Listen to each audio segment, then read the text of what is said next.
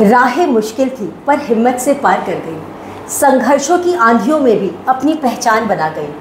हर मंजिल को उसने हासिल किया, जुनून से अपने। ज़िंदगी की हर चुनौती को मुस्कान से आसान कर गई it's a pleasure to introduce a woman of great substance she is an author an insightful blogger a captivating story teller a dedicated career counsellor a TEDx speaker, and the list goes on and on of her extensive knowledge. उनकी जो exceptional contributions है towards her profession and towards the society उसके लिए उन्हें अनेकों बार सम्मानित किया गया है। She also had the honour of being felicitated by the president of India for a invaluable work with the army wife's welfare association तो आइए हम स्वागत करते हैं अनुप्रिया चौधरी का a beacon of inspiration and perseverance cafe कहानियों में आपका बहुत बहुत स्वागत है Anupriya it's a pleasure to have you here it's my pleasure to be here. Thank you so much, Sheetal.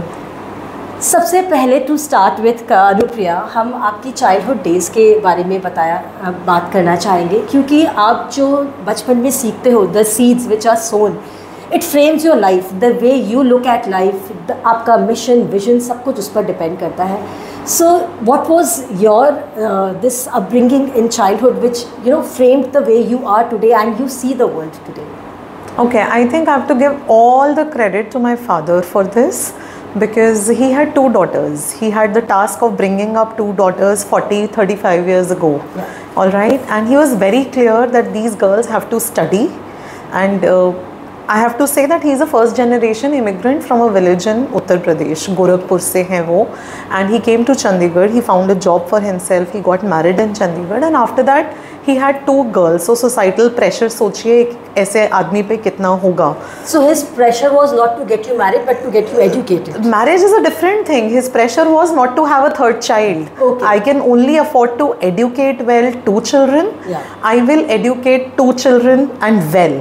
He had the option, he used to work with a newspaper called The Tribune, and The Tribune used to run a non profit organization and a school along with it. And he had the option कि बिना किसी खर्चे के वो हमें उस school में पढ़ा सकते थे but he chose to send us to a convent he said the grooming that they will get there मैं घर पे कभी दे नहीं पाऊंगा बिकॉज मेरे अपनी लिमिटेशंस हैं तो वो ग्रूमिंग हमें वहाँ मिली and throughout my upbringing मेरे फादर का मेरी मदर का भी सिर्फ़ एक ही कहना रहता था कुछ भी करो लाइफ में फाइनेंशियली इंडिपेंडेंट होना चाहिए। अब एक मिडिल क्लास इंसान जो एक सैलरीड क्लास है वो कैसे होगा मिडिल वो कैसे होगा फाइनेंशियली इंडिपेंडेंट तो वो था कि जॉब करना है। You have to have a job so that was I think the single minded focus of our upbringing.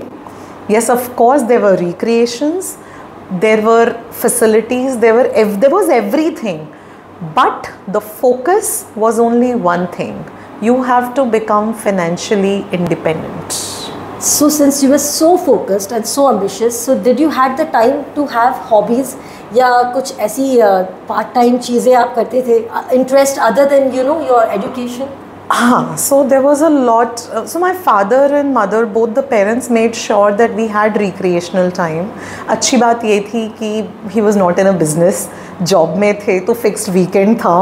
And my husband is a business man now so I understand the importance of that time I had with my parents and every Sunday they use to make sure कि वो हमको कहीं ना कहीं लेकर जाएँ। Luckily we were in Chandigarh so we had weekend getaways So my mother was very artistic in nature. उसकी वजह से I was very good with art and craft. So I won a lot of prizes in school with embroidery and my craft work, tablecloth वगैरह whatever I painted was always in the principal's office. It was used in the principal's So office. you were so good in art and craft Yes. then. So I had a very fun, balanced, balanced childhood. But again, at the end of the day, वो yes कि भाई so a person who has been always so focused and ambitious तो क्या आपने कभी college bunk किया? College bunk करके movies गए या हैंग अराउंड करने गया फ्रेंड्स के साथ uh, क्लासेस बंक करके? Did you ever do all of that no I didn't go out for movies I didn't hang around with friends what I did was I was a part of a lot of extra curricular activities जहाँ पे I was also upskilling myself I was learning and that was my probably my alibi Okay. to convince my parents कि मैं friends के साथ हूँ.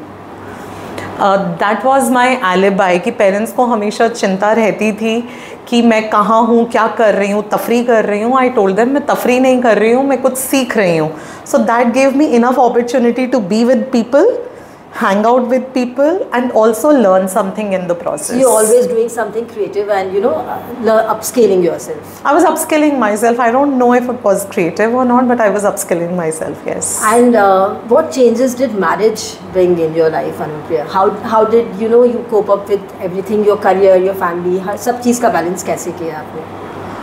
ज़्यादा balance करना नहीं पड़ा because my husband we were in a relationship before marriage for three years and he had set it very clear the expectations very clear that even if she is coming to Calcutta into a very conservative family he had made it clear that I will work. Okay. So that is one thing that I'll always be thankful to him because he had taken one stand for me at that point of time. And that was a very important stand, I yes, guess. yes. And from there on then to balance everything was my responsibility. Yeah. वहाँ पे कोई help नहीं किया वो मुझे ही balance करना पड़ा because cooking in the kitchen in the morning taking care of my in laws taking care of household chores which were expected of me वो सब मुझे ही करना पड़ा वहाँ कोई सपोर्ट हस्बैंड से नहीं मिला but he gave you the तो- biggest support, na? हाँ वो एक अप्रूवल उन्होंने दिलवा दिया। वो कहते हैं ना अप्रूवल लेटर पे सिग्नेचर उन्होंने दिलवा दिया। अब उसको प्रैक्टिस कैसे करना है, तुम जानो। कहते हैं that is not my responsibility so I yes struggle था। सुबह उठती थी, सारा किचन का काम ख़त्म करके and then I would you know I would go to office and I didn't have an additional car at that time Ola Uber नहीं होता था तो बस से या कैब से जाना पड़ता था। टाइम कंज्यूमिंग था। फिर वापस आती थी। I had to cook dinner at that point of time then wait for all the people in the house क्योंकि हमारे घर में सब लेट आते थे, दस बजे, ग्यारह बजे। तो आप साढ़े ग्यारह, बारह बजे से पहले सो ही नहीं सकते थे। एंड फिर सुबह वही छः बजे साइकिल शुरू हो जाएगा, क्योंकि साढ़े सात बजे तक आपको सब रेडी करना है। So there was a lot of balancing act which carried on even after my first child was born my elder child was born उस समय भी काफ़ी उथल पुथल एक बार हुई थी कि बच्चे के साथ जॉब करने जाओगी बच्चे के साथ जॉब करने जाओगी but we I stood through it कि जाना है and I requested my mother in law कि मुझे छः महीना सपोर्ट करो, अगर आपको लगेगा नहीं मैनेज हो रहा है तो I will leave the job मुझे ज़्यादा चिंता थी नहीं जॉब छोड़ने की, क्योंकि I was hustling at that time also मैंने अपने आप को अपने एक फ्रीलांसिंग असाइनमेंट में एंगेज कर लिया था, जो कि मैं रात को 10 बजे से 1 बजे तक I use to work on that freelancing assignment when an I use to help GMAT candidates जो लोग एमबीए बाहर करने जाते हैं, उनके प्रोफ़ाइल बिल्डिंग में मैं हेल्प करती हूँ। I use to I was a consultant for their profile building तो वो फ्रीलांसिंग असाइनमेंट थी।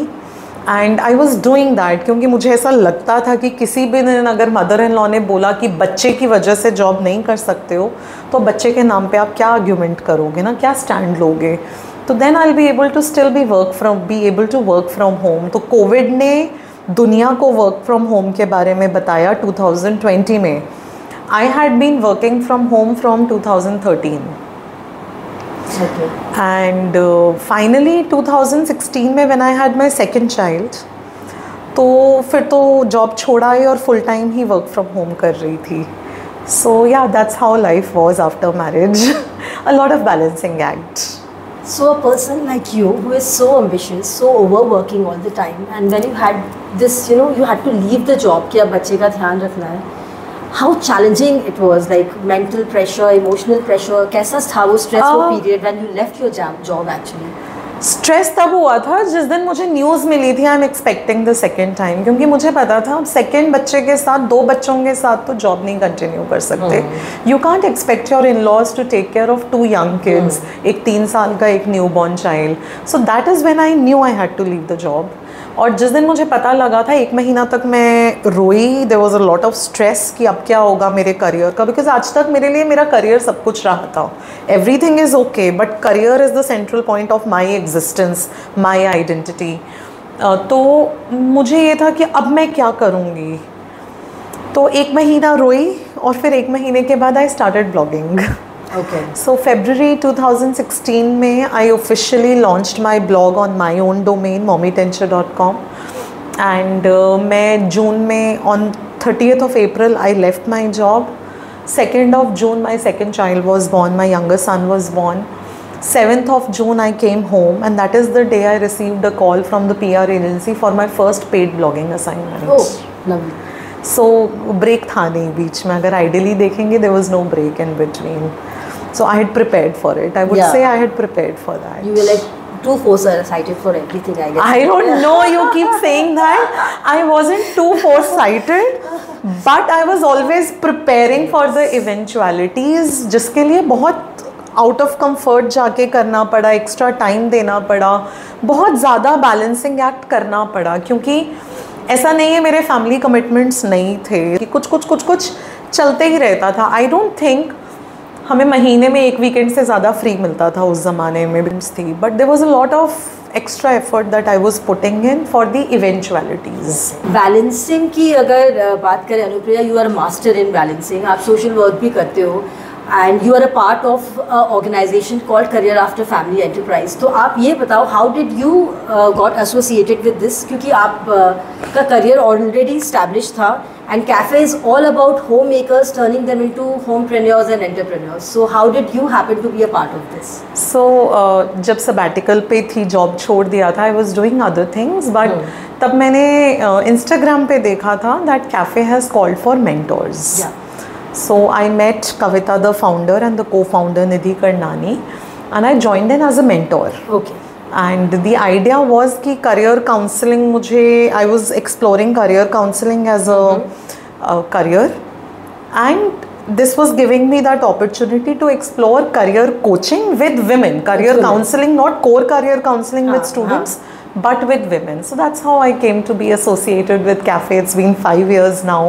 And uh, I'm happy that I'm able to contribute and give some help to women to understand what they want to do in life. Tell me one thing Anupriya as a career counsellor जब आप एक youngster students का counselling करती हो और women की counselling करती हो you know who left their careers long back they forgot about their education their skills और अब वापस they want to seek a career how different it is and which is more challenging Different है जब आप बच्चों को और parents को कुछ बताते हैं तो they are looking up to you वो एक ओपननेस है। तो आप जो भी बोलते हैं इट बिकम्स गॉड्स गॉस्पल मतलब आपको किसी एक्सपर्ट ने बता दिया इन फ्रीजन ओपन माइंडेडनेस बहुत है।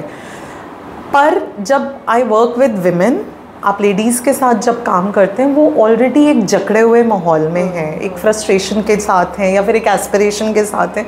पर उनको रास्ता नहीं मिल रहा है वहाँ बाहर निकलने का। मेरे ऊपर कोई ओनर्स नहीं है। मैं उनको बता देती हूँ। बट करना तो उनको है। तो मुझे तब रेस्टलेसनेस फील होती है जब पूरा रास्ता उनको दे दिया गया है। बट वो एक्शन नहीं ले पाते हैं बिकॉज़ बहुत सारे रीजंस हैं। I not get in to the reasons major reason वही है कि उनको लगता है कि हम एक सेट लाइफस्टाइल में हैं हमारा एक सेट रूटीन है हमारी घर पे रिस्पॉन्सिबिलिटीज़ हैं। हम उस चक्रव्यूह को कैसे तोड़ें और बाहर निकलें? They are afraid of changes Anupriya yes वही है उनको चक्रव्यूह सा लगता है कि इन लॉज हैं हस्बैंड है बच्चे हैं घर का कामकाज है नौकर का मैनेजमेंट है मेड मैनेजमेंट कौन करेगा? मैं नहीं रहूँगी तो कौन? मैं नहीं रहूँगी तो कौन करेगा? वो चक्रव्यूह है और उस चक्रव्यूह से वो लोग निकल नहीं पाते हैं। Uh, can I add, Anupriya, is so uh, low self-esteem and low confidence is also a reason? Oh, there are various cases अलग अलग केसेस का अलग अलग रीज़न होता है तो येस लो कॉन्फिडेंस चला जाता है क्योंकि आप कुछ थे एक टाइम पे फिर आपको अपने एस्पिरेशंस गिव अप करने पड़े फैमिली के लिए। तो आपको ये लगता है you are good with managing your family अब अपने लिए कुछ करने के लिए कॉन्फिडेंस नहीं बचता है। तो इतना सिंपल डिस्कशन नहीं है ये हम इस हाँ, टाइम फ्रेम में नहीं कंप्लीट कर पाएँगे but I think it is about that one step जो चक्रव्यूह को तोड़ने के लिए लगेगा। Of all the multiple career options you have explored, आपका फेवरेट कौन सा है? अच्छा तो on record I had six career till date I am still to get to my favourite career She's still exploring, still learning. Well, hats off to you, man. So, Anupriya, where do you see yourself like five years down the line? I don't know the world is so uncertain today किसको पता था Covid आ जाएगा और फिर चीज़ें इतनी बदल जाएँगी? तो आई डोंट नो मेरे को नहीं मालूम है। पाँच साल बाद मैं कहाँ होंगी? ऑफ़ कोर्स मैं कुछ नया स्किल सीख रही होंगी।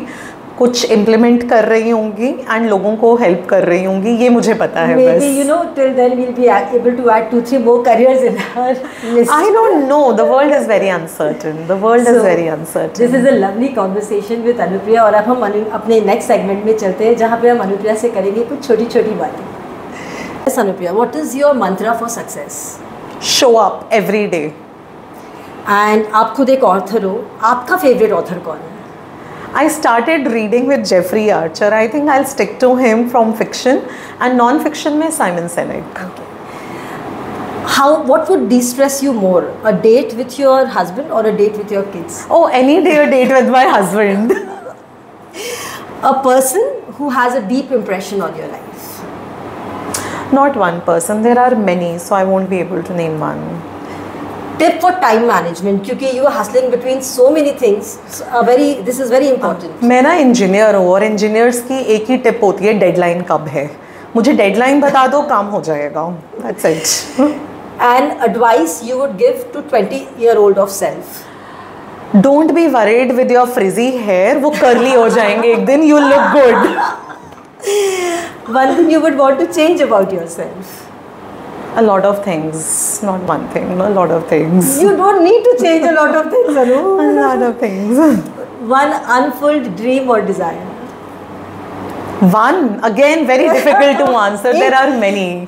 Uh, एक बोलो नहीं बोल पाऊँगे। जस्ट जो इमीडिएट तुमको लग you know on the words कुछ है। I think unfulfilled dream is to live alone with my husband in my house you know without any extra joint family extended family that's unfulfilled dream if you could choose a super human power what it would be to be able to time travel और rather to be able to travel without the expense of travelling okay that's lovely what's your biggest nightmare to forget to show up every day. What has been your favorite moment of cafe? The favorite moment was when we launched the book Magical 40 of, at 40. Uh, that was, I think, one dream moment, and that was something out of the world. I, I think that will always remain special for me. And advice you would like to give to women who are like in the crossroads of their career journey? बहुत सारी advice हैं पर एक advice यही है कि move out of the comfort zone सीखना शुरू कीजिए करना शुरू कीजिए you will definitely come up with something you have to move out of your comfort zone opportunity को कोई प्लेट पर सजाकर नहीं देगा। आपको अपनी अपॉर्चुनिटी छीननी पड़ेगी। A lovely, that was a brilliant advice, and I and I think it was an incredible journey.